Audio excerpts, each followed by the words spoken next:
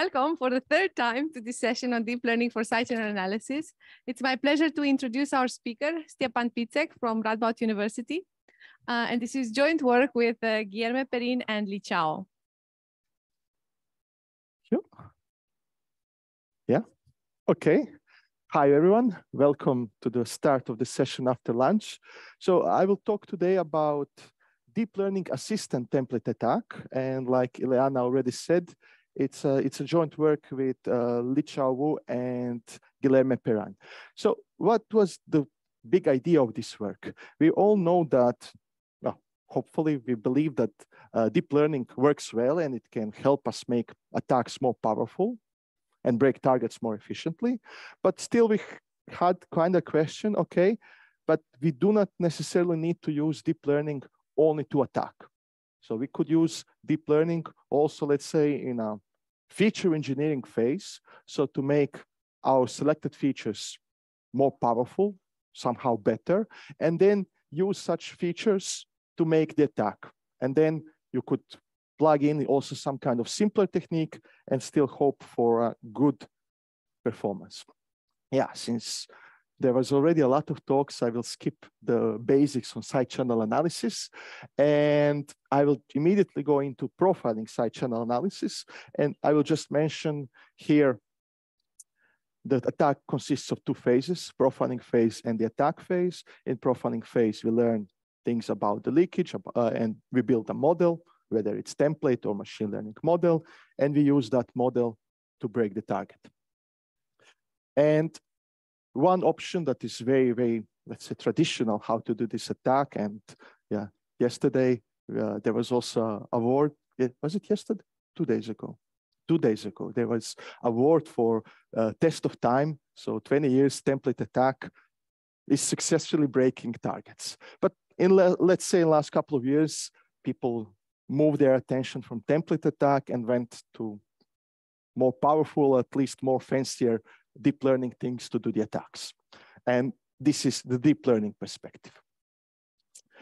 And what, what is the point? What's the goal of everything when we are doing is, well, we have measurements, we have traces, and then either we say we take raw traces or we say we take some interval. But in the end, mostly, at least with publicly available targets, there is only a couple of leaking places. And everything else is somehow meant to be disregarded. And of course, with, let's say, template attack, you want to select your features so that you have as good attack as possible. With machine learning, so simpler machine learning attacks like seven years ago, support vector machines, random forest, you kind of also try to do feature selection to make the attack more powerful. And then we went to deep learning and said, yeah, the advantage of deep learning is you do not need to select features. So you leave everything for deep learning to do. And while, I mean, apparently this is a good scenario because we constantly report it works, the question is, is it always the best solution? Because if we know something about what we are trying to do, it does make sense to pre-process, to do feature engineering, to do whatever, to make the attack more powerful. I mean, just think of it. Why would I make life for my neural network more difficult? If I know something, I can use that knowledge to then plug in into something and make the attack more powerful. So the question is how to select relevant features. And of course, since with many techniques we needed to select features, there are many techniques how to do that. So I don't know, Pearson correlation, uh, SOST, SOSD, uh, chi-square, uh, autoencoders, more recently deep learning approach. Uh, so there is quite a lot of options. But there is also one more recent option that is based on the concept of similarity learning and what we call uh, what is called triplet networks and then triplet loss and so on so on. The concept is kind of simple. Yes you can see the pointer. Okay bare, barely but hopefully you can see. So what do we want to do? So here is the example ai so that's called anchor then pi p like positive example and n i plus one or whatever n is negative example. So the point is what we could do is we could try to make a system that minimizes the distances intra-class. So whatever belongs, let's say, to a leakage will somehow come closer to boost the effect of leakage. Whatever does not come, uh, is not part of the leakage will simply move away. So interclass distance will somehow increase. And by doing that, intuitively, you can think, okay, if relevant things are grouped together while irrelevant thing is discarded away, if you plug in the relevant things, it does make sense the attack could be more powerful. So this is the whole concept how triplet networks can work. And like I said, there are three types of, let's call them labels, positive, anchor, and negative. Positive and anchor have the same label, while negative can be any label that is not correct. And that's why we call it triplet network. There are three deep learning networks. Each of them makes its own embedding you fit all that into a triplet loss function. And what you in the end obtain is somehow embedded, we could call it also latent space, which is compressed, but contains the most relevant information about the leakage. Uh, one could ask, okay, but what is it that are those final embedding space? What are those leakages?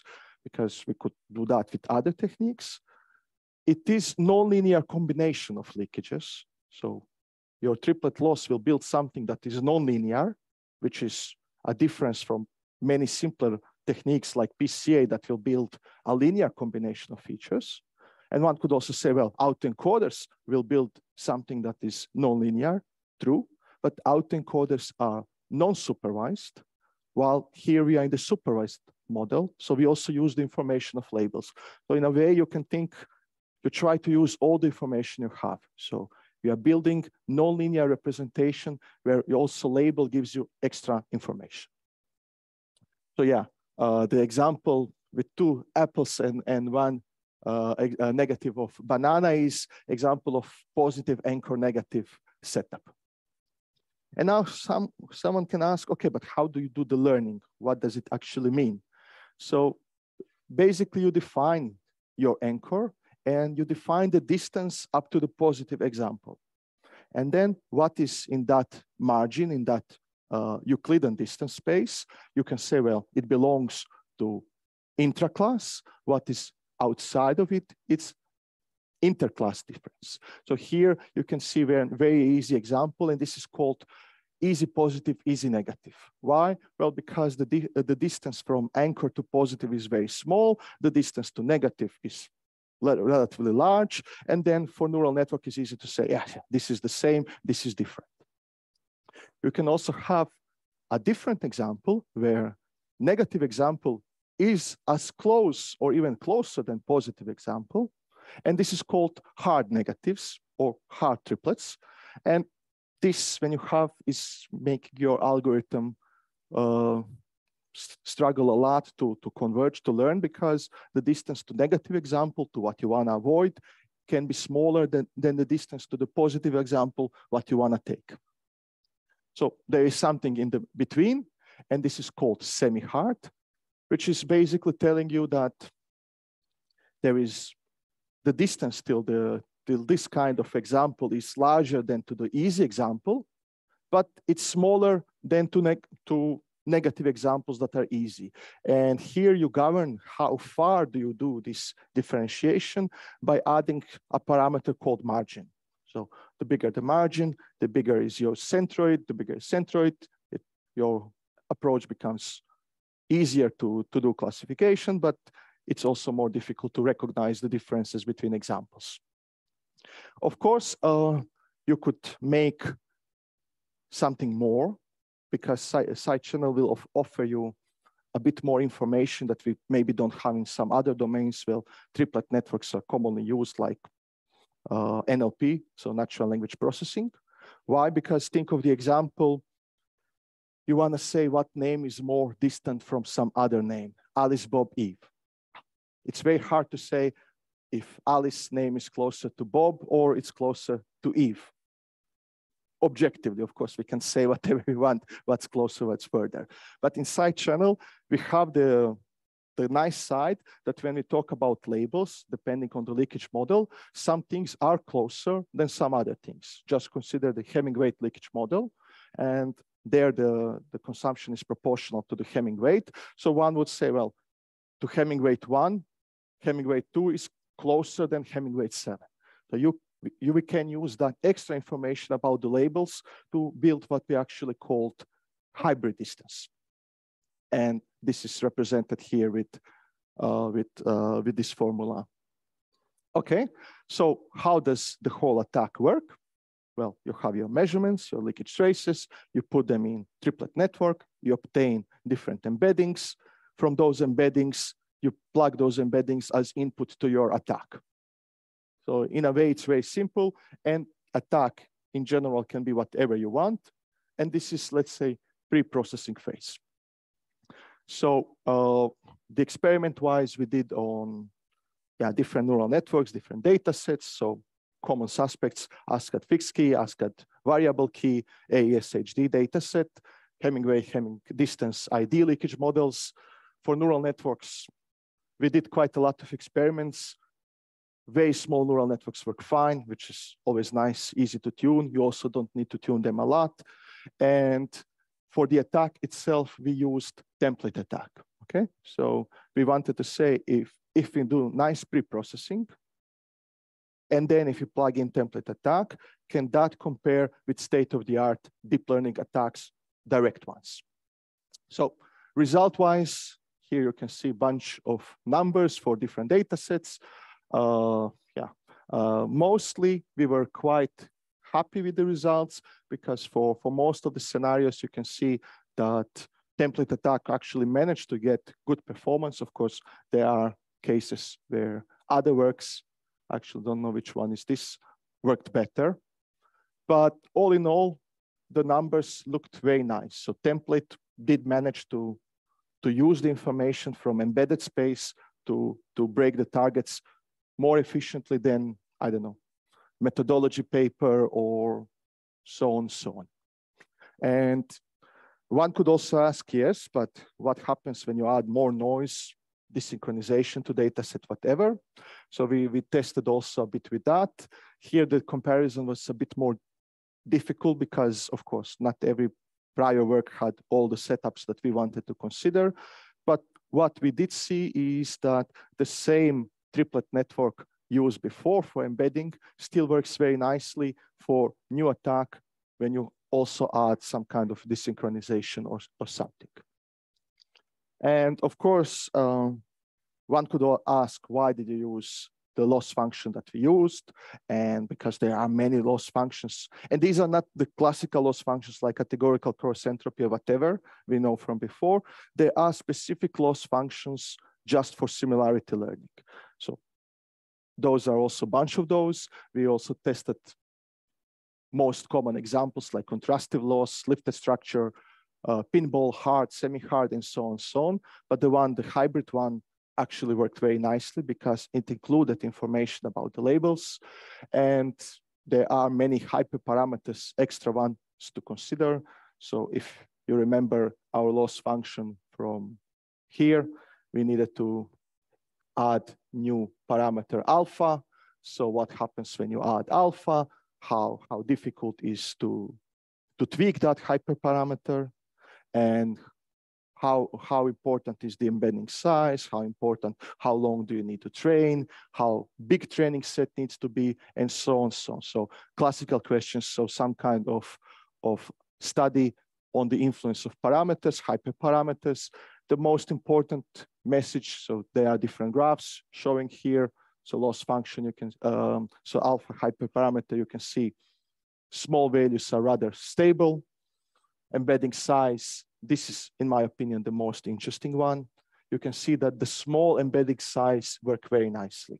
And why is this interesting? Well, if you have small embedding size, that means your covariance matrices with template will also not have strong requirements, which will allow you in many, many situations to build your template attack so you will not get singular, singular matrix and so on, so on. Triplet margin, so how big is the difference between uh, positive, negative? Again, we found this to be quite reasonably easy to tweak. So whatever we tried, unless we tried very stupid values, worked good. And also very interesting thing, to, to train something like this, you need very little time. So a couple of epochs is enough to train uh, your model to do embedding extraction.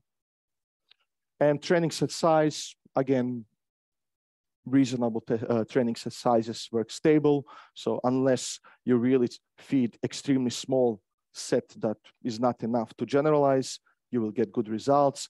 If you feed a big data set, of course, it works nice, but it takes more time and so on, so on. And to conclude is, well, it seems cool because indeed we can, we found that you can make embedding that works for template attack, which was not clear at the beginning. Can you really combine features in such a nonlinear way that they will still make sense for, for template attack to use? And in a way, with minimal computation efforts, we, we were quite lucky to see that we do match state-of-the-art deep learning attacks. So really attack that attacks on the raw features, which is also telling us that these nonlinear embeddings do contain a lot more information than just judging by the, by the size of embedding. Because for instance, size of embedding was 30, 40, 50, so very small when you compare with, uh, with raw features of 1,000 or 700 for us ASCAD fixed and so on, and so on. Uh, yeah, the, the evaluation of critical hyperparameters showed stability, which is always nice because even if you have good solution, but becomes very difficult to tweak, very difficult to reproduce the results, then it's always problematic. So we found, at least on the data sets we tested, to be very easy to, to tune the hyperparameters. That being said, yeah, paper is everywhere, uh, available on CHES page. There is on our uh, Git, you can find the code, uh, who was at the tutorial Sunday. I also gave the code for this. I believe uh, some people tried it already. They told me it works, even works. So that's nice. Uh, and that being said, yeah, uh, if you have any questions, I will do my best to answer.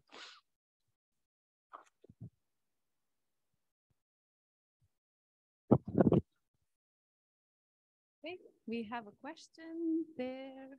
I will give you my microphone.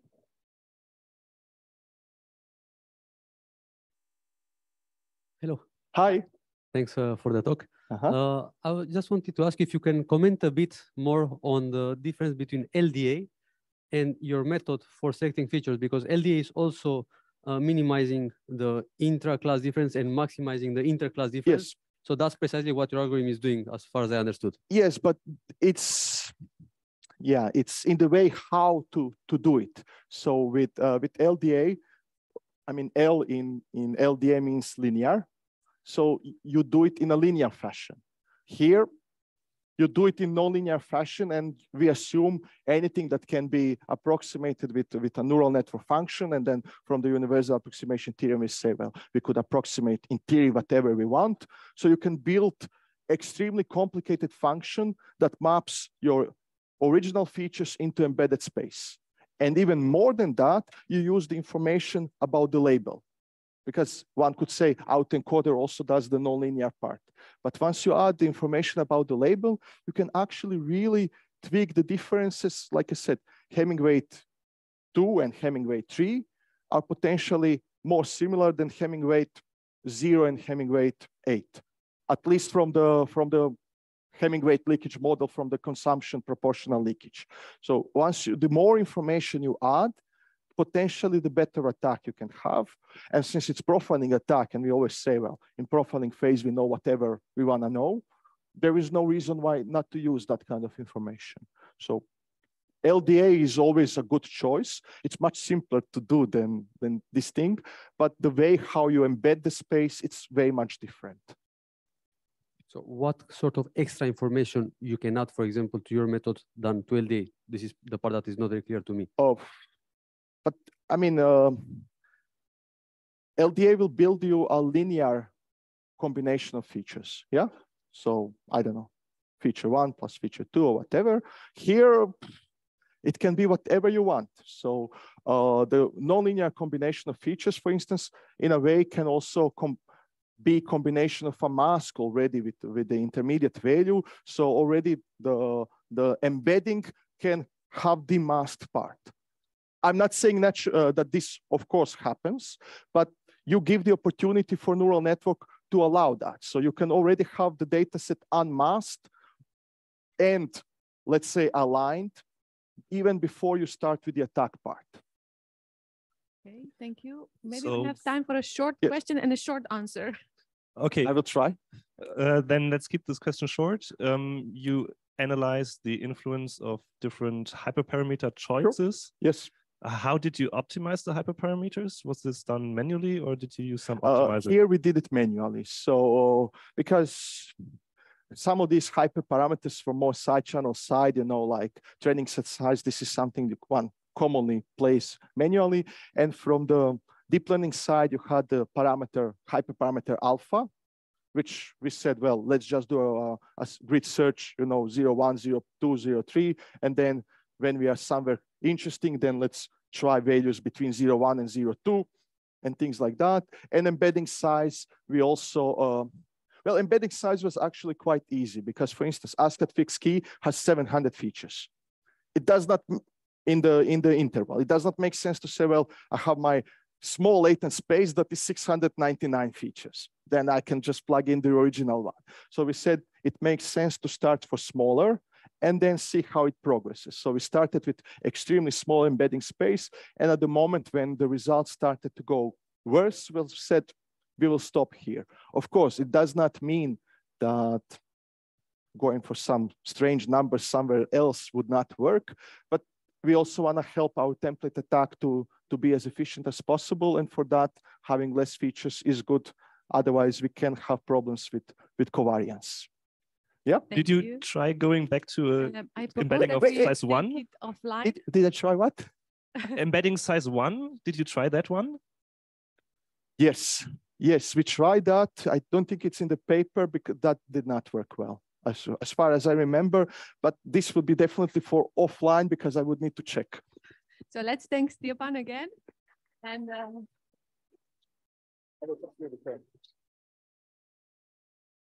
our next uh, speaker is online. Yes, I'm in principle online.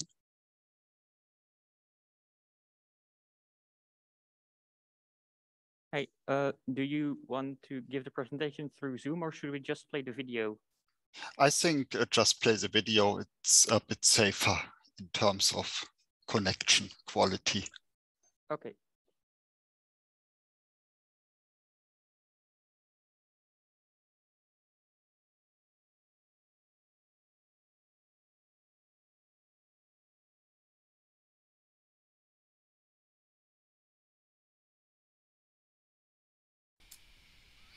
So the topic of my talk today is breaking masked implementations of Clyde by means of side channel analysis and this is joint work with Friederike Laus and Werner Schindler.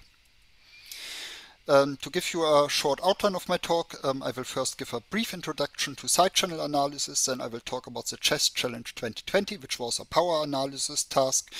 I will uh, describe a blueprint of a solution um, that outlines the, the, the, main steps that we take to, to solve uh, the CHES Challenge 2020 software challenges. I uh, will discuss some minor and some major problems that we had to overcome. And uh, the most significant problem that we had to overcome was a convergence problem with the deep learning model that we used to break this uh, CHES Challenge 2020. And um, this uh, we, we invented a trick called the scattershot encoding that um, helps us resolve this convergence problem.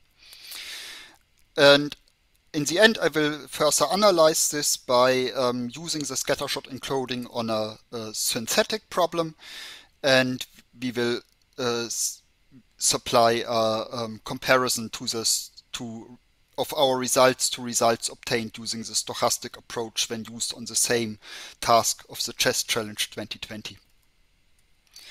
So mathematical cryptanalysis tends to be difficult for unweakened uh, versions of modern ciphers, so uh, it's much easier to break the implementation.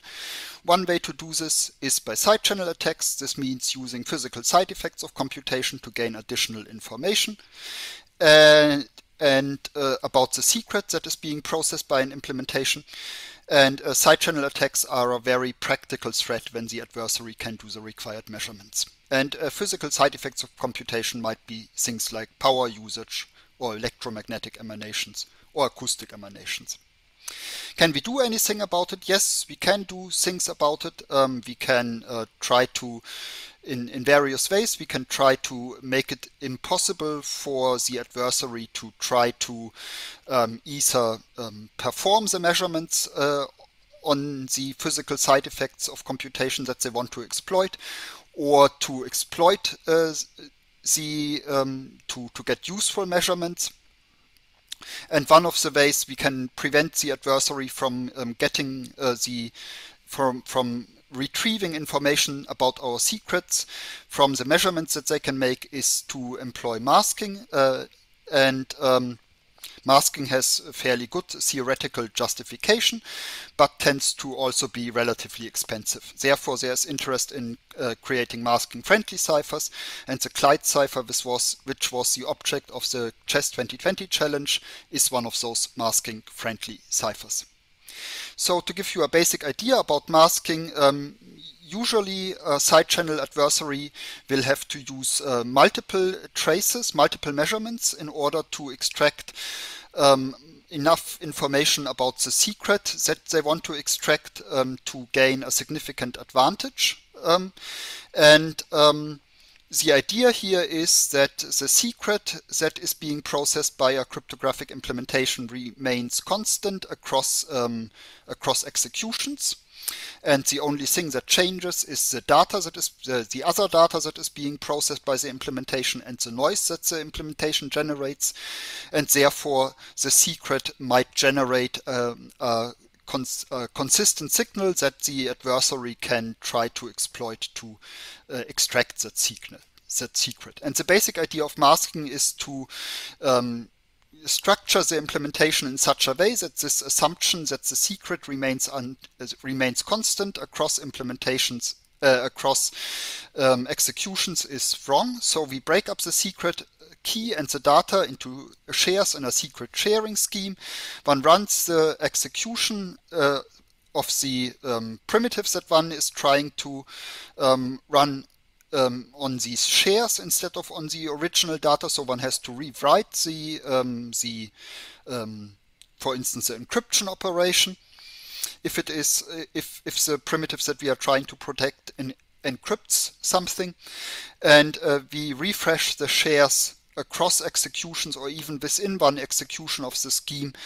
And um, in this way, um, we prevent the adversary from seeing the same um, the same sensitive values when they observe different executions of our primitive. So in the CHES Challenge 2020, uh, we had to break masked implementations of the masking-friendly Clyde cipher by power analysis. Clyde is a tweakable lightweight block cipher with 128-bit block key and tweak size. There were seven different targets, four software and three hardware targets. All of them were masked implementations. The software targets had three, four, six, and eight-fold masking. Only the software targets were solved, and the power traces for the software targets were captured at fairly high resolution. Um, at, on the order of several tens of thousands of data points per trace. The power traces uh, included roughly the first round of the cipher, but excluded the randomness generation, and hence we had to treat the randomness used for share generation and refreshment as completely unpredictable. Um, breaking a challenge meant achieving a mean key rank smaller than 2 to the 32 using a number of traces chosen by the uh, team that was claiming a break. The goal of the contest was to break as many challenges as possible with as few traces as possible, and um, it turns out that our team was the only group to submit a solution to any of the challenges within the contest. Um, the the organizers of the contest provided 200,000 power traces together with the secret keys, secret key shares, tweak values, and plaintext values for each challenge uh, for training solutions. Um, in addition, they provided a Python implementation of the masked Clyde logic. Um, they also provided um, test data that, uh, with fixed keys um, so that uh, so that um, so that uh, competitors could test their solutions against up to 100,000 traces with a fixed key for each target and entries were evaluated against a dataset kept secret by the organizers. Uh, key ranking was done by standard histogram based methods. So Clyde acts on uh, blocks of 128 bits, which are arranged as uh, 4 times 32 bit arrays. It runs six rounds of encryption, each round being composed of a tweakey addition, an S-box layer, an L-box layer, and the addition of a constant. Another tweakey addition happens in the uh, at the end of the cipher. The tweakey schedule is fairly simple and uh, on the whole the cipher is implementable with a fairly small number of gates which um, uh, which uh, contributes to its uh, being masking friendly. So our solution uses deep neural networks and all of our uh, code and data can be downloaded from GitHub. So we wanted to achieve the following. We wanted to, first of all, uh, if possible, win the contest by having the most efficient attacks. We wanted to use uh, fairly uh, highly auto automated attacks. So we uh, tried to avoid too much manual tuning with regards to hyperparameters, point of interest selection, or leakage target selection. And we wanted to break all the software challenges using the same methods. And um, basically what we do is we get predictions for the shared cipher state, for all of the bits of the shared uh, cipher state uh, at some particular point of execution. Then we derive a guess for the unshared state, um, which of course comes with uh, an increase in uncertainty of our predictions as we have to predict, uh, as we have to combine um, predictions for different shares to uh, get a prediction for the unshared state. The unshared state then only depends on the Clyde logic and the inputs and not on the masking anymore, which means that for each uh, key hypothesis, we can um, calculate the unshared cipher state given all the inputs to Clyde and compare, compare the results of that calculation to the results of the side channel extraction. And that allows us to um, output a ranking of the keys. And um, in the end, it allows us to um, output a ranking of the keys where the target key is uh, among the first 2 to the 32 um, keys in, in this uh, ranking as desired. So how did we pick the leakage target? We just uh, uh, target the state after the first S box. Then uh, how do we avoid a large search cost when rank ranking key hypotheses? Well, given the leakage target, we can rank key hypotheses one nibble at a time. So we have only 16 hypotheses per nibble. And uh, how do we process large traces without manual point of interest selections? We reuse a neural network structure introduced at SAC 2020 by Gohr, Jacob, and Schindler, uh, which was designed to handle large traces directly. And the main ideas uh, behind that networks uh, are to deal with large trace sizes by subsampling the traces with varying offsets and then combining the predictions made for the, the subsampled uh, subtraces. And um, yeah, we just reuse that network structure. When we tried to implement this, however, um, we saw that our networks uh, converged well for many bits of the shared state, but failed completely for others. And of course, if we failed completely for to converge for um, one uh, for for some bit of the shared state, we will not see the um, we will not see one the, the corresponding bit of the unshared state. And if that happens, then since we don't see any bias for that bit, more data is not going to help us resolve the problem. So we had to we had to solve this convergence problem in order to um, in order to get predictions that uh, get us to the desired key rank. So the problem that we saw was that when predicting the internal cipher state naively, so one bit at a time, then all predicted bits are close to independent of each other, which means that we can make progress on learning to predict some bits while not learning how to predict the others. And in order to solve this, we invented a trick that we called the scattershot encoding, which is an alternative encoding of the data that we want to predict. Namely, we pick random subsets um, of the target bits and predict instead of the target bits themselves themselves the Hamming weights of these random subsets of target bits. And if we have noisy predictions of these Hamming weights, then we can obtain noisy predictions of all the target bits by some linear algebra post-processing that we do. And uh, all of these subproblems that we that we construct, all of these uh, predictions of these uh, Hamming weights are strongly re related to each other because these uh, these um, subsets of the target bits are not disjoint with each other, so they sh they share a lot of bit bit positions, and uh, therefore one would hope that convergence across these subtasks should be more uniform than than it is in the case when we uh, naively try to predict the target bits themselves. And this is indeed true. So here we see the performance of our uh, solutions to the 8-share challenge, which is the hardest one of the software challenges. And we see that with about 35,000 traces, we get um, we, we, we get below a median key rank below that uh, below the target of 2 to the 32. So our uh, solution works quite efficiently for the three share challenge and um, but we see that the that the number of, of traces that we need to get to be below that key rank uh, it, it does rise fairly fairly quickly but we manage to uh, solve all of the software challenges. Um, after the challenge was closed, another solution was published by Bronchain and Standaert, and that solution is based on deep belief networks, and their solution is more efficient than ours for the 6 and 8 share challenges, but comparable for the 4 share challenge and less efficient for the 3 share, three share challenge. So to analyze our technique further, we, uh, we looked at the scattershot encoding in more detail because the scattershot encoding is a slightly counterintuitive trick because it basically just multiplies the values we would like to predict by a fixed random binary matrix before running training and one, one does wonder why this helps.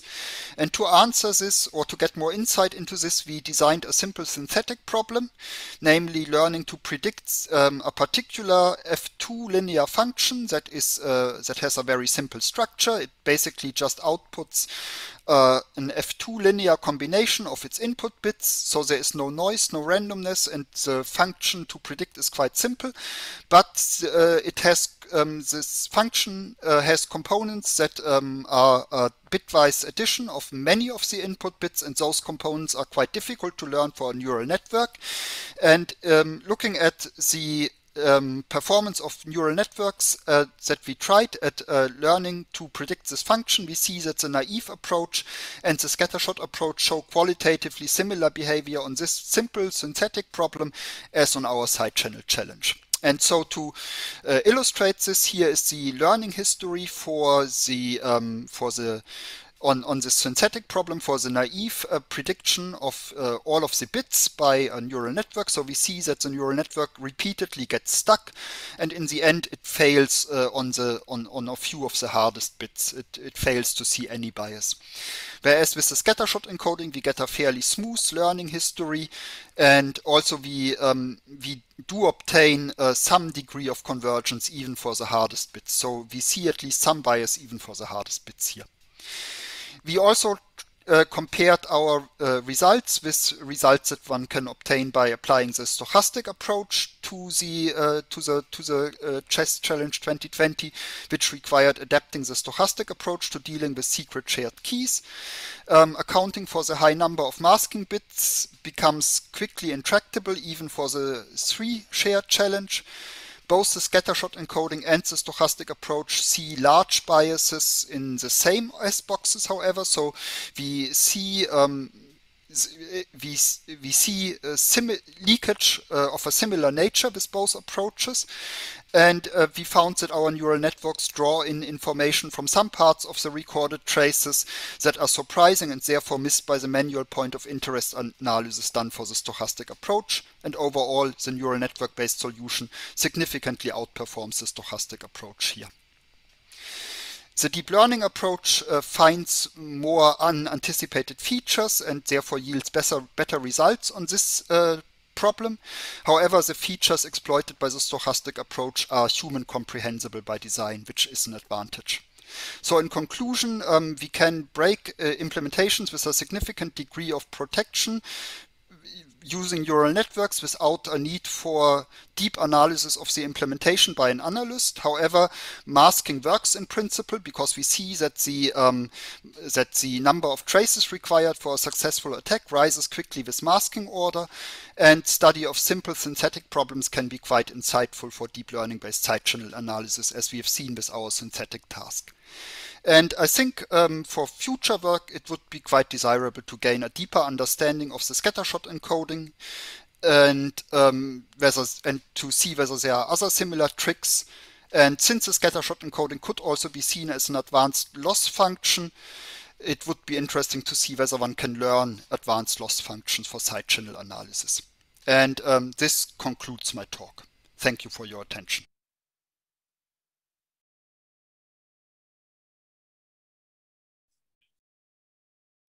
Thank you. Yes. I, I think Aron is also online. Are there any questions from the audience? Yes. Uh, uh, hi. Do you hear me? Okay. I can hear you. Uh, hi. Uh, it's uh, Olivier Bronchain, so that you know who is speaking. Uh, so thank you very much for the, the talk and for the paper and for con contributing to the, the CHES CTF. Um, I think one key ingredient of your attack is knowing the values of the shares when running the attack, which is usually not done um, by the, the rest, I mean, a, a, large majority of the rest of the community, especially in the deep learning um, area. So could you like comment on that? And do you think that you could have um, succeeded with such a um, impressive success without knowing the randomness used? I, I, think I think knowing the randomness used uh, was essential for for what we did. Yes, I mean we we um, we used the um, the, the supplied uh, Clyde logic, um, the, the mask Clyde logic, and the and the um, the, the known values of the uh, randomness to derive those internal uh, to derive those um, internal uh, share values uh, during training. And um, without modification of the of the methods uh, I don't think that we would have been able to get a model that performs that well. Uh, just if, if we had just known if we had just known the the um, unshared keys and the um, and and the algorithm itself, then I don't think with with the most methods that we used that we could have uh, obtained that result. Yeah. And I'm feeling like as the BSI, you are in a position like saying, is it relevant or not to know the randomness when you analyze a cipher? So uh, personally, I think I think um, it makes sense to um, to look at um, a, an, an attack an adversary model that is uh, that is strong enough to well that is um, personally, I think it makes sense to look at powerful adversary models um, because, um, I mean, uh, the the algorithm is supposed is certainly supposed to be known by by by any by by the adversary by Kerckhoffs's principle, and um, I think in terms of in terms of evaluating um, the worst case that one can, I mean, the, the, the worst case that one has to deal with when ensuring that a particular implementation is secure, it does make sense, in my opinion, to uh, look at, at an adversary who can be assumed to have weakened the implementation in such a way that he can, that for training purposes, he can see the randomness. Um, but I, I think it, it also makes it, it also makes perfect sense to look at weaker adversary models and, and to, to see um, how much one loses um, if one um, if one if one moves to a weaker adversary model. We have one more question. It's going to be short, and if possible, the answer also short. Yeah, sure. Uh, hello, sorry. So you mentioned, uh, hi, this is Marius. Uh, you mentioned the use of stochastic models uh, with a manual selection of points of interest, but there is also a method that we've shown on how to combine stochastic uh, models with LDA and PCA. Did you try that? So automatic selection via projection of LDA and PCA with stochastic models. Um, we, we, we, we did um, we did a we did a we did a more or less a semi-automatic um, approach to the to the point of interest selection, um, but I'm I'm not quite sure. I, I, would have to talk to I would have to talk to my collaborators what exactly we did, um, what what exactly um, which approaches we exactly used to do the point of interest selection for the stochastic approach, as I mostly dealt with the neural network side of things. Thank you very much for this answer, and let's thank uh, the speaker.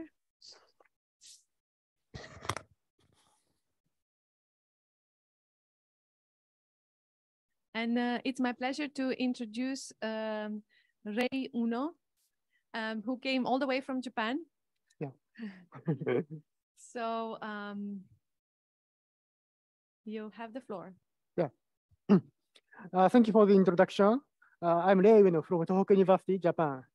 Uh, today, uh, I'm talking about a single, story, single side attack on RSA-CRT. Uh, this is a collaborative work with Kotaro, with Kotaro Akira, and Naofumi. Uh, channel attack, uh, SCA on RSA has been studied for a long, long, long time. So traditionally, um, channel attack uh, try to distinguish squaring and multiplication during the modular exponentiation because the secret exponent is uh, uh, directly represents the secret key of the RSA signing or decryption. In addition, in, particular, so many studies ha, uh, have been devoted to accurately estimate the squaring or multiplication sequence from only single trace, because single trace is very important be, because public key cryptography is not necessarily performed as frequent as symmetric primitives. In addition, partial key exposure attack on RSA-CRT has been also studied for a long time. So this attack uh, estimates the secret key, a uh, uh, full secret key from partial information of the secret key, like this uh, figure. Uh, this so attack estimates the correct secret, secret key by discarding the wrong secret key, contradicting the side channel leakage obtained like this, and by such a binary tree manner. This partial key attack is actually useful for making side channel attack practical because side channel leakage from the uh, side channel leakage obtained by the attacker is not always correct or correct.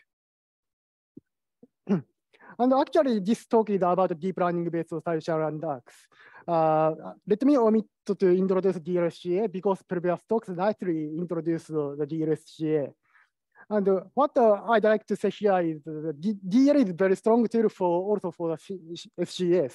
But we will uh, we should still consider what to run by DL for efficient key recovery. Uh, for, uh, in my opinion, uh, for symmetric key cryptography, it will be uh, very established because uh, many existing DLSCA focuses on the conditional probability distribution of SBOX output uh, given channel trace and its uh, optimality is well uh, is analyzed in some studies. On the other hand, for public key cryptography, so uh, it should be more investigated because uh, the what you learn uh, by DL is completely dependent on the algorithm itself. So today we talk about the so efficient uh, new deep learning based channel attack on RSA-CRT. So with regard to so how to how to estimate the secret exponent from channel trace and new partial key exposure attack uh, tailor-made for our attack. Uh, in, fact, in fact, our attack can be applied to state-of-the-art RSA-CRT implementations. Uh, this means uh, the implementation with window exponentiation with dummy load as hiding countermeasure. Such an implementation is uh, frequently, frequently used in the many open source libraries, while existing DLSCA on RSA or discrete logarithm targets uh, binary exponentiation. The proposed attack is uh, evaluated using uh, actual implementation using the GMP. Uh, this is the major multiple precision library, and this is frequently used in the cryptographic operation. And we also confirmed the applicability of the proposed attack to some related cryptographic libraries, uh, uh, including OpenSSL, Botan, and LibGcrypt. Okay, let me start from uh, RSA crypto systems. So I, uh, so I know uh, cryptographers have uh, seen this uh, RSA formulas for very, very, very frequently. And for this audience, so you are interested in how to implement these formulas securely and efficiently. So let's focus on open source RSA implementation uh, because such an implementations uh, has very high performance and very practical because uh, this is uh, implemented by expert of the cryptographic implementation. You know, uh, Chinese Remainder theorem, CRT is uh, usually used for the RSA decryption or signing uh, because uh, it can reduce computation cost by factor of two to four without almost no overhead. Uh, in addition, uh, in implementing RSA, exponentiation algorithm uh, is very important, and which mainly determines the security and efficiency. So this table summarizes the exponentiation, major exponentiation algorithms for implementing RSA. And this is classified to two types of the binary exponentiation and window exponentiation. So actually, many open source uh, libraries uses uh, uh, window exponentiation thanks to its high performance and some levels of resistance to the such a simple power analysis. So uh, I introduced fixed window exponentiation. So this is the fastest constant time exponentiation to the best of my knowledge. So let W denote the window size as a parameter. So fixed window exponentiation consists of the uh, two stages of precomputation and main loop. In pre-computation, we make pre-computation table which contains uh, 2 to the power of W elements. And uh, in the ISA address of the table, uh, it uh, stores uh, uh, C to the power of I, whereas C is the base.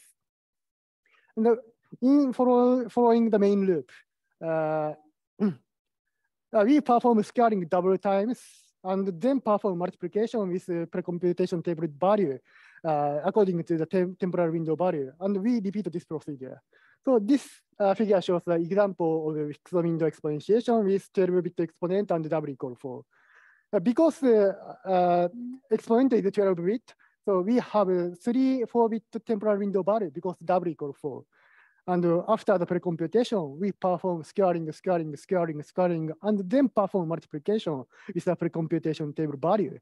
Here, the temporal window value is the 1101. We perform the multiplication with c to the power of 1101, so 13. So we repeat this procedure until the end of the uh, exponent bit. So how about the security of, of uh, side-to-side security of this exponentiation? So in fact, uh, this is secure against uh, simple power analysis because uh, scaling multiplication sequence is independent of the secret exponent.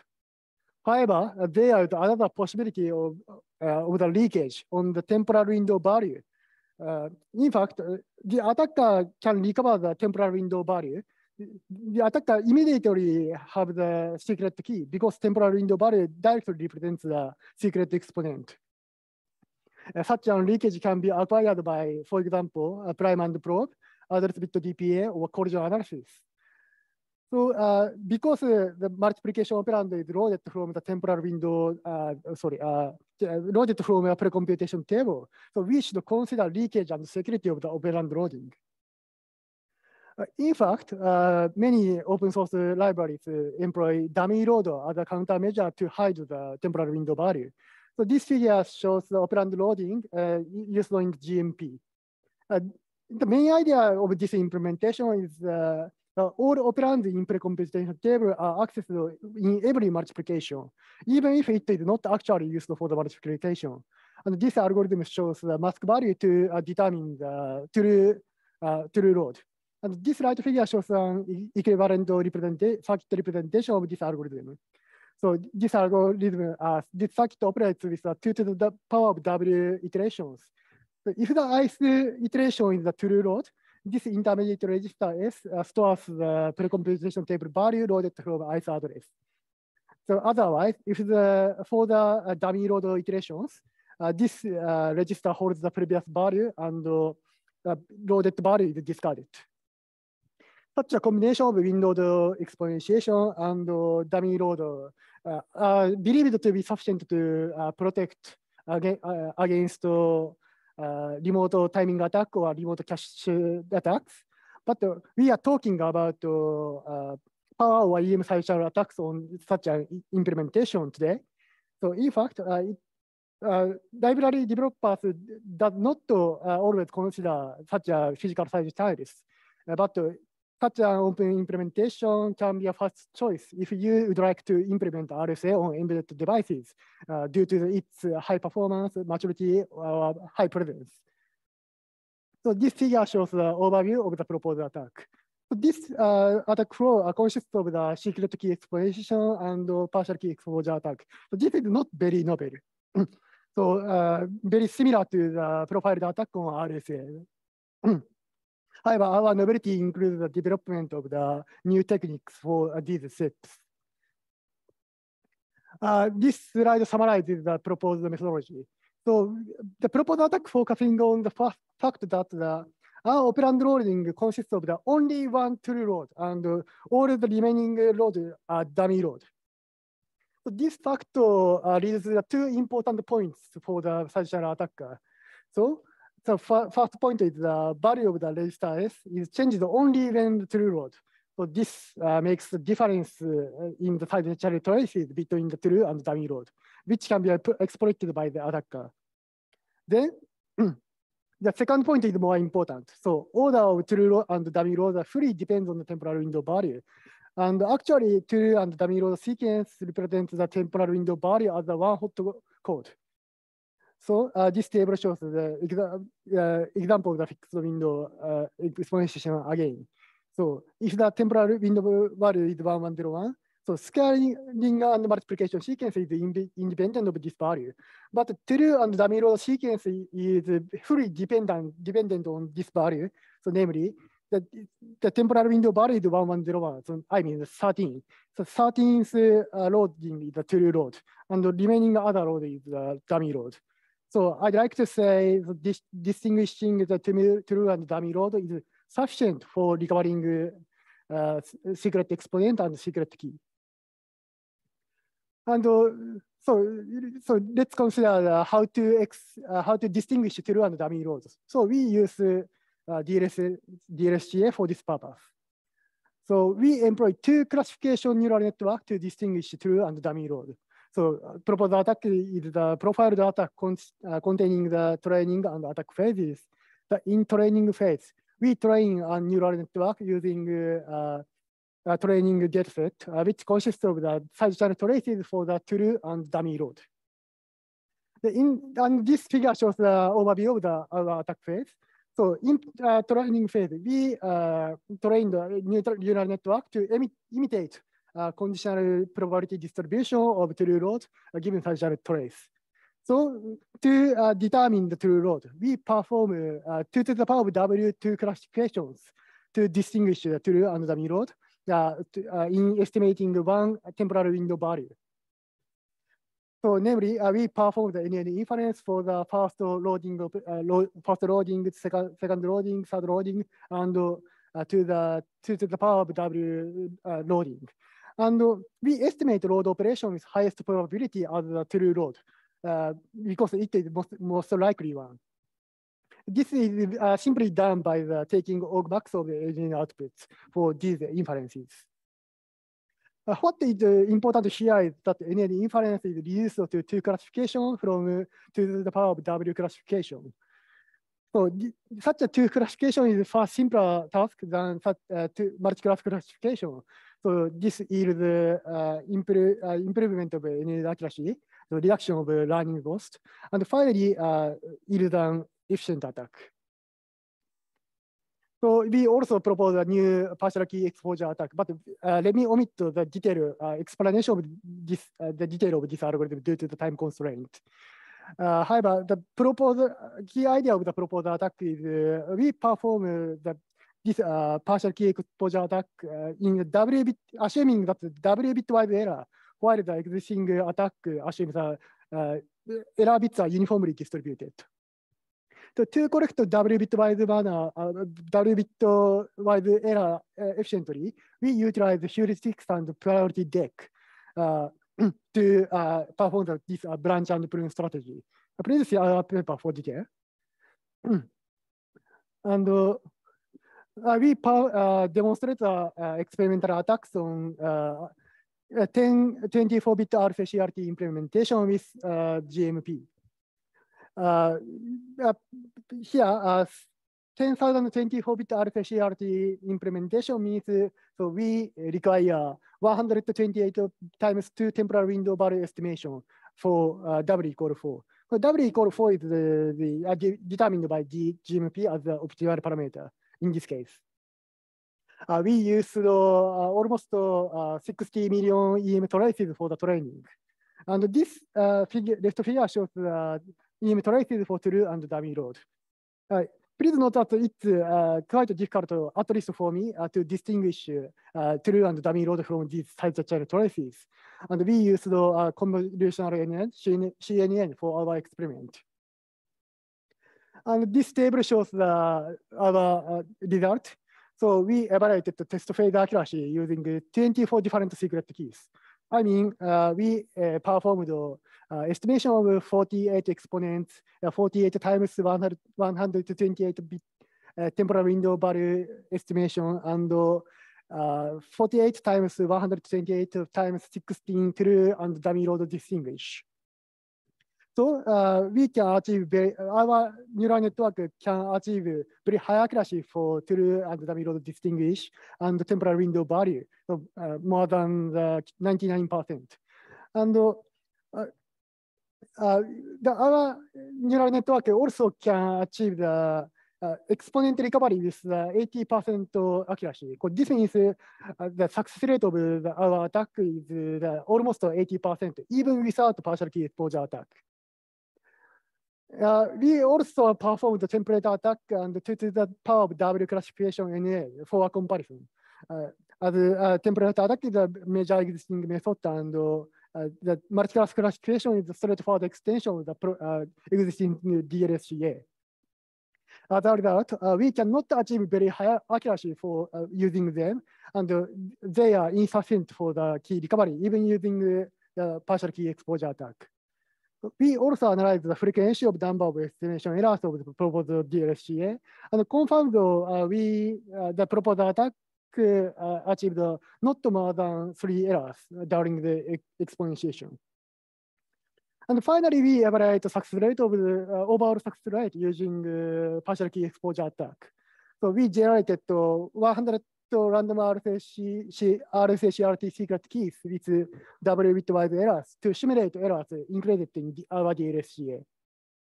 Uh, this figure shows the result. The horizontal axis is the number of errors, and vertical axis is the uh, computational cost.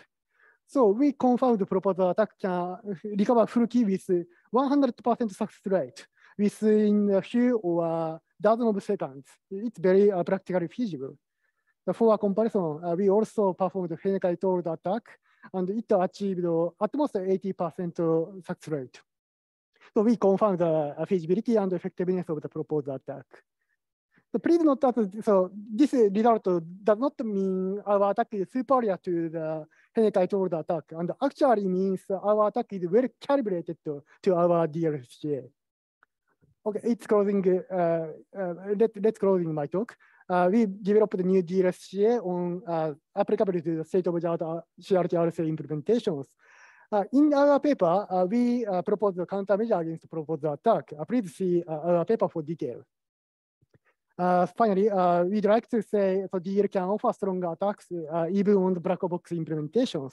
But if the implementation detail is available, so we can achieve more stronger attack. That's all. Thank you for your attention.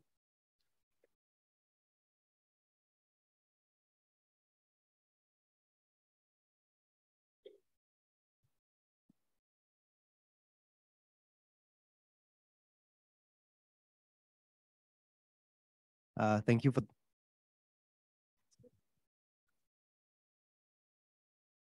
Uh, okay, sorry. thank you for the talk. Uh, you said that the Heninger-Shacham algorithm was not applicable. Can you elaborate a bit on this? Uh, pardon? Uh, you said that the Heninger-Shacham algorithm was not applicable for the key reconstruction. Can you elaborate a bit on this or? Uh, sorry, uh, please uh, speak slowly uh, because sound is not very clear. Sorry? Uh, please uh, speak slowly because the sound is not very clear. Uh, maybe we can take this offline after. I'm not sure I understand what. algorithm, I cannot pronounce the name. Heninger-Shacham? Discovery. I'm not sure. Why not? Could you say the name again? I'm not sure I'm pronouncing it Uh, so this, right uh, as well. you, you are mentioning the Heninger attack?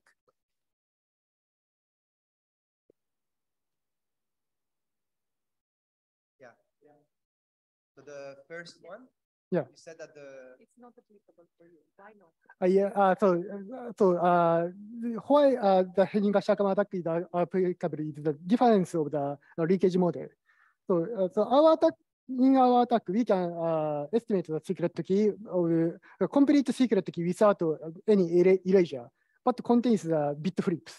So uh, this is uh, this leakage model is not covered by Henniker-Shakama attack. Okay. Thank you.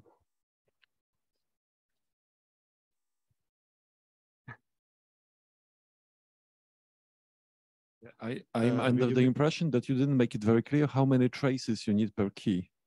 Uh, uh, sorry, sorry, pardon? How many traces you need per key? How many traces you need? How, uh, how many traces? Uh, Yes. uh, traces? Uh, uh, we, uh, we used uh, 62 million traces for training and only one trace for the attack. So this is a single trace attack. Is the data set publicly available? Yeah. Your data set, is it available? Mm, So, sorry. Your data set, is it available? Ah, yes, already published in our Great. GitHub repository. Uh, um, Thank you very much for a very nice presentation. What was the target? Uh, What did you run it on, the uh, the experiments? Um, uh, What is we some, for uh, target example? uh, uh, uh, so GNU uh, multiplication library, library GMP imp, uh, exponentiation. Uh, this Yeah, is yeah, a major. Uh, Uh, Was it was it running on like bare metal, I assume? I- Okay, it's- parameter. ah, okay, sorry. thank you. Okay. Um, we will take it offline. Uh, they will take it offline. So let's thank uh, Rei for his very, very great talk.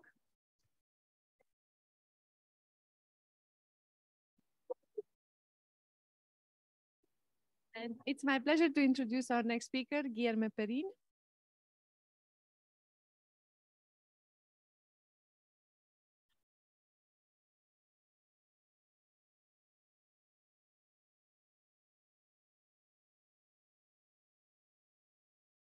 And in the meantime, I want to thank you uh, as the audience for uh, having a lot of questions and having interesting discussion. Makes my life as uh, the session chair very easy.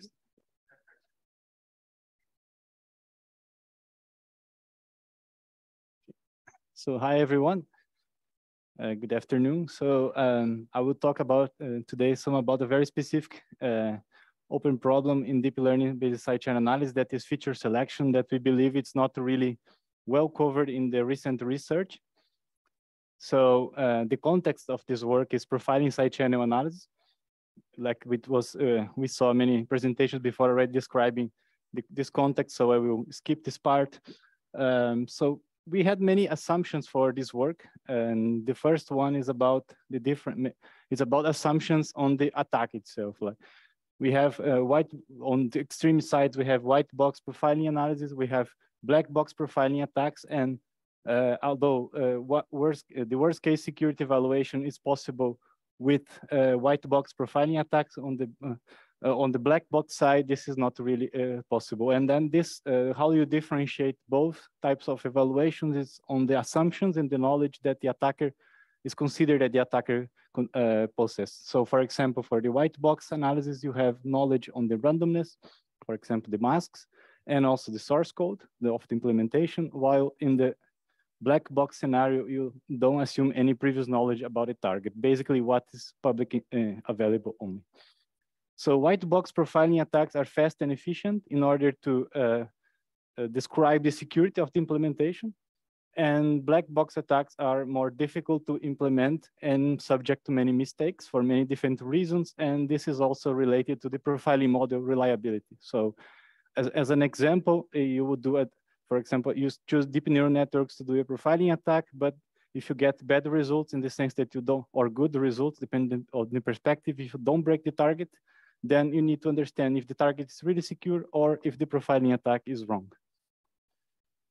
So there is this gap between these two uh, scenarios. And one thing that we ask ourselves is uh, if we apply deep learning attacks, which provides in practice very good results, how the hyperparameter search effort actually covers uh, this gap can uh, not make, of course, white box and black box equal in performance, but reduces the gap between those two approaches. And obviously on the white box scenario, we have feature selection. And on the black box scenario, we don't have feature selection ideally. So the second motivation is about the model size. So um, to define the neural network you want to uh, implement, so it's becoming more and more large, the options for, for describing to, to implement the attack. And when we go for, for example, small models, and usually this is the this is selected based on small data sets as well. So small models, uh, they have their own benefits. For example, they are implicitly regularized, so they are less prone to overfitting, but they are more efficient on small uh, data sets.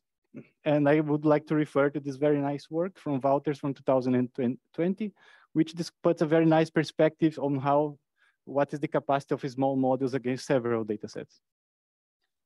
So also small models together with optimization methods uh, deliver also very good results. So next years we saw papers, uh, or in the recent years, we saw papers using hyperparameter search together with small neural networks, and they were uh, able to get even better results also on small data sets, not really large scale data sets.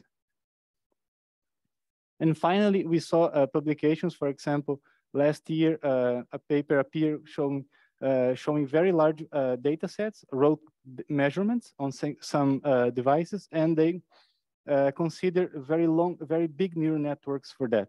So the attacks were crazy efficient, very few uh, traces like zero, one to 10 traces for some data sets were enough to break the target on applying them on the road trace. So it's quite impressive to see, but the, the, the models are very, very large. So this also puts a question like, is it necessary to improve the model size if we improve this, the scale of the data set? So feature selection basically, uh, yeah, so we need to select the main points of interest in our attack. So if we, if we go for the more black box evaluations, but we also select small intervals, which is also done mostly in the recent works, uh, we don't see uh, that uh, uh, even a small neural network will struggle so much in finding the second order leakages and first order masked implementation, for example, because you're going to have several uh, points of interest leak information and then to differentiate between what is noise, what is leakage doesn't become a very difficult task. And for people that practice on this topic, it, we see that it's not really difficult to find an efficient neural network against data, publicly available data sets. On the other hand, if we do, uh, if we apply, uh, if we take a much longer interval where the location of the points of interest related to our intermediate variable are more con are concentrated in very specific points of interest, then we see a situation when the neural network needs to uh, find these points of interest and discard the rest of the, uh, of the trace. So if the, the leakage is located in some specific points, then we start to question ourselves if small models are enough or not for, uh, for the task.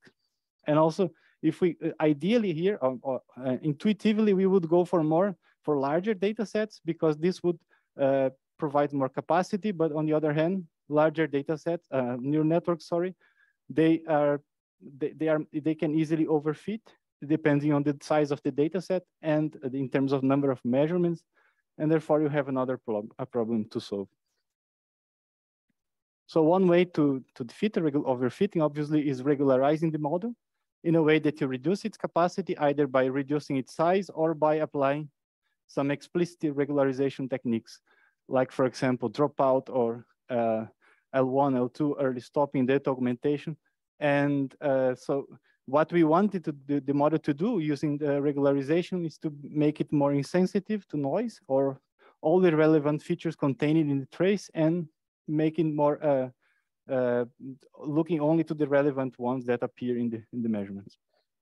So in reality, feature selection, either in academic or in industry, are they are done in different ways. So if we consider all the publications that we have recently uh, in the previous works, we see that feature selection is usually taken into account because we usually attack data sets that are already uh, optimized for in terms of interval of selection. So I can give an example of ASCAD dataset that is massively used in our previous works.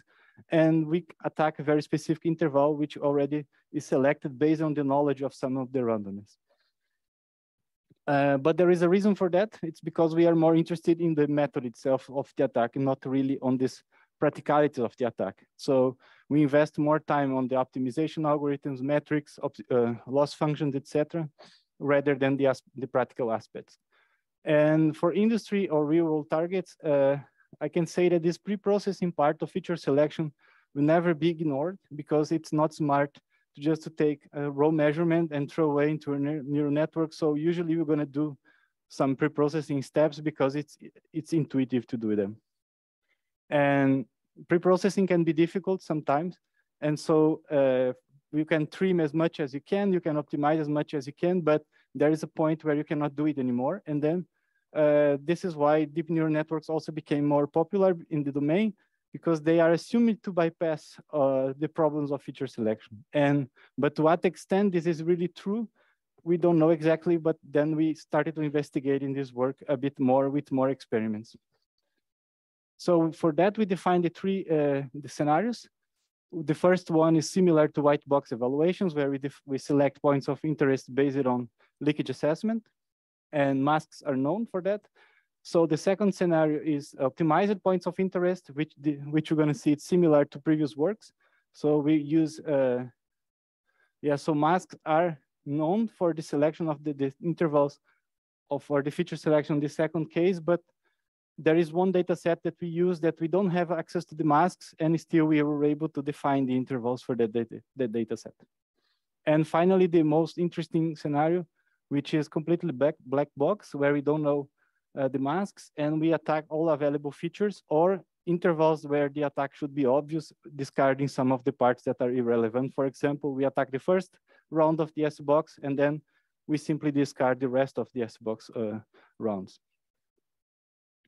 So feature selection, what we usually do uh, is when we have um, a, different data sets to attack, we go for different hyperparameter tuning uh, strategies. And also depending on feature selection, we also go for different hyperparameter tuning strategies. But in this paper, what we do is to see how the same hyper, hyperparameter tuning strategy, the same configuration, the same range can be applied among uh, for multiple scenarios.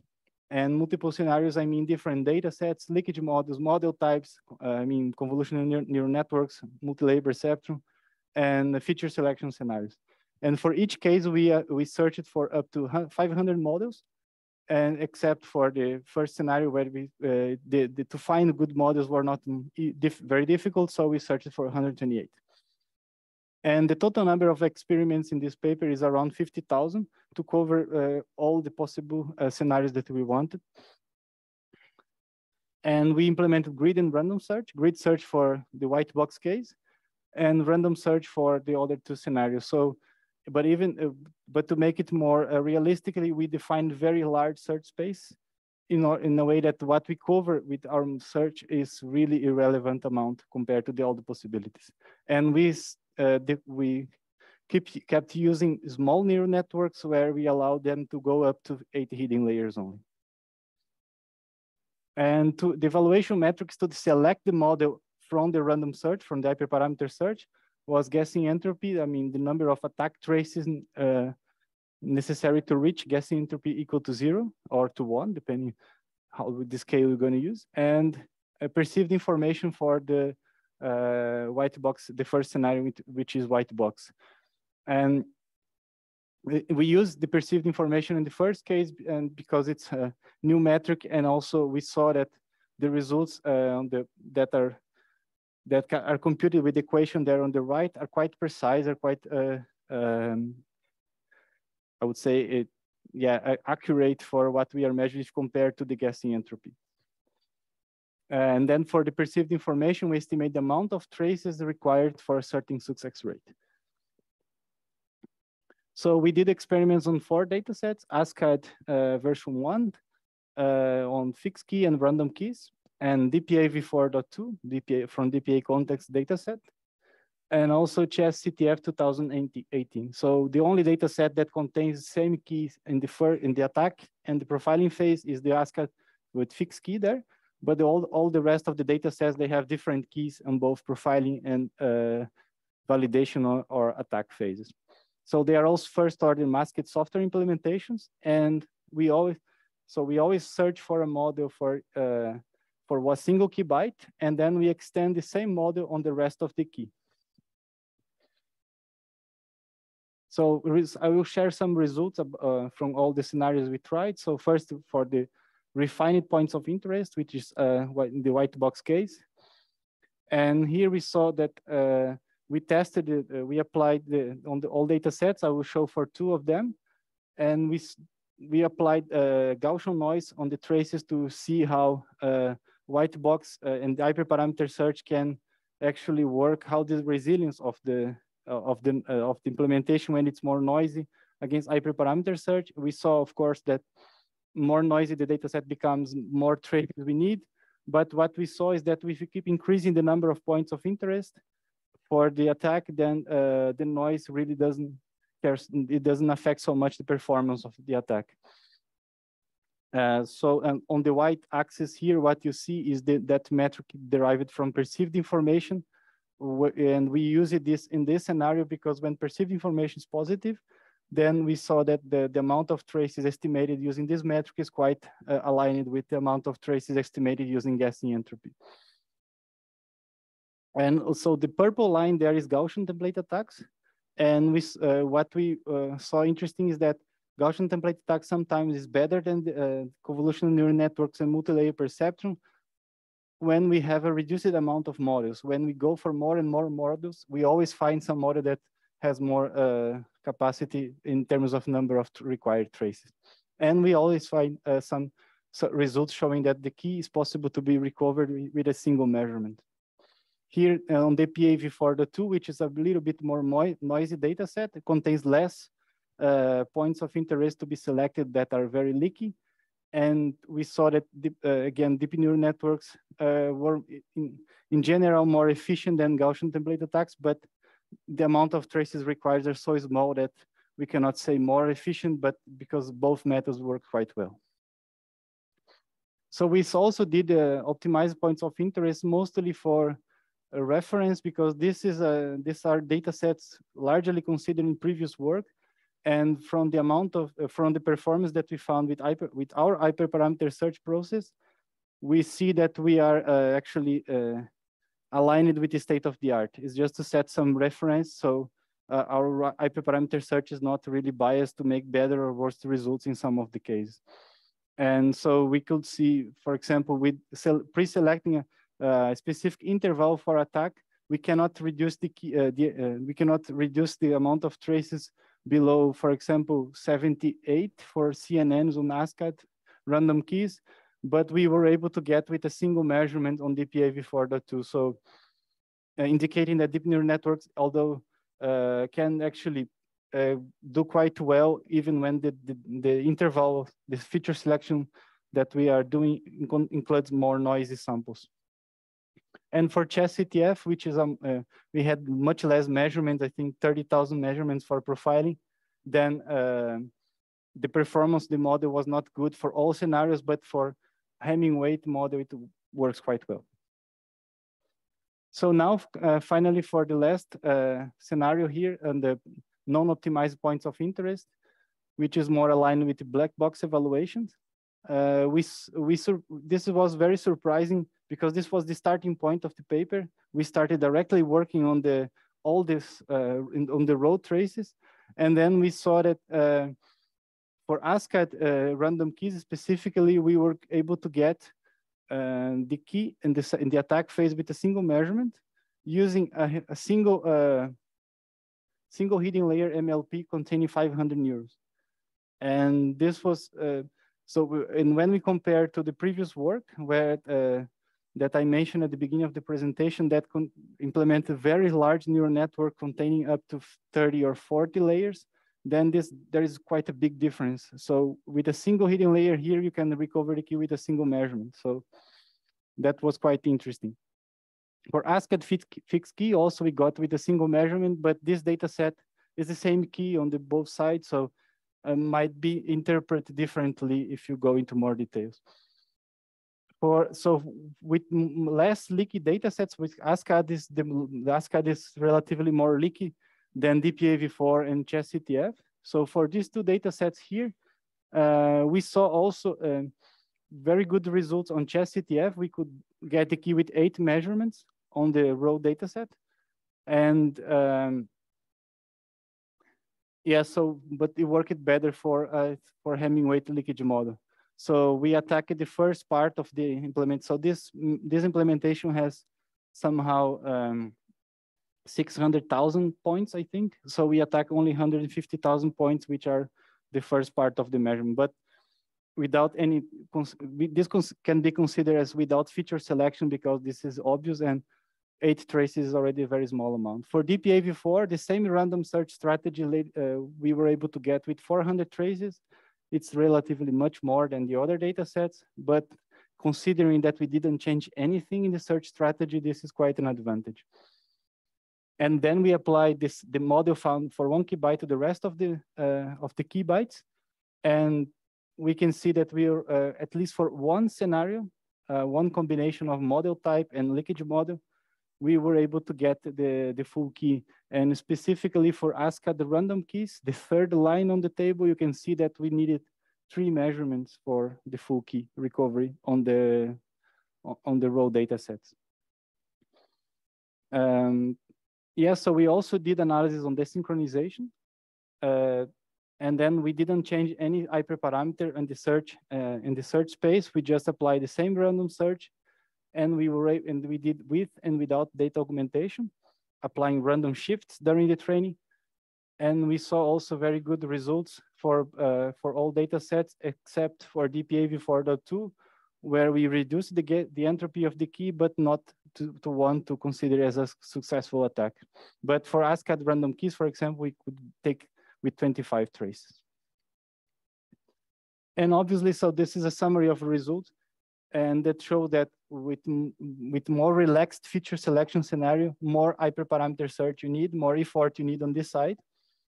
Uh, when we have desynchronization for, in some cases, only 1% or even less of the, of the search space gave us uh, successful results. And, but for white box, sometimes it's 100% of the model that good uh, positive results. And yeah, so this uh, emphasized that the very extensive random search is some, somehow necessary to, to make very efficient attacks on, on black box way. So in conclusion, yeah, so uh, we concluded more or less that yes, deep learning can skip feature selection, which is uh, written in many places that it can skip. So somehow we can, as long as we do long hyperparameter search process. So the effort on the hyperparameter search needs to be applied. And we apply the same search strategy on all the targets, all the all the situations. And we would say that black in black box scenario to, to estimate the strength of, of the attacker, uh, the learnability capacity is something to be taken into account. And we emphasize also that small models and small CNN and MLP models uh, can defeat multiple targets, uh, first order masked implementations, even on very large intervals or raw data. But of course, uh, I think we should invest on more complex deep learning approach, also random uh, search approach, when we move to more difficult targets, for example, a target uh, ASCAD v2, which is publicly available and contains more protections. Okay, so thank you very much for attending this presentation. If you have any questions, I would like to have, I would be happy to answer.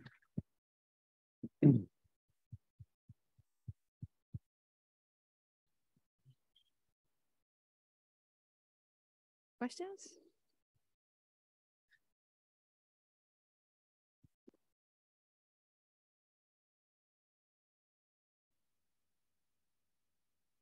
Thank you very much for a nice presentation. I have a question about the, the fixed um, fixed key data set.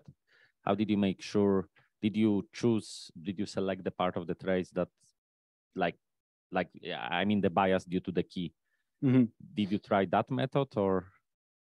Selecting part of the trace, you mean? Like, yeah, how, how, how, how did you make sure that it's not biased? How I make sure that, for example, there is no first order leakage, for example, or that I don't learn only the key. I mean, okay, you are using identity model. Yes, yeah. yeah. So there is a there is a an issue in that. So this is why I I included most results on the on the ASCAD random keys because I think there is this is something to be investigated. But I believe if you learn a data set that has a fixed key and then apply attack phase on a fixed key you know, on identity leakage model, you can only learn that situation. It doesn't generalize to different keys. So that could be a possibility Thank you. Any other questions? Then uh, in view of time, maybe we should thank uh, Guillermo.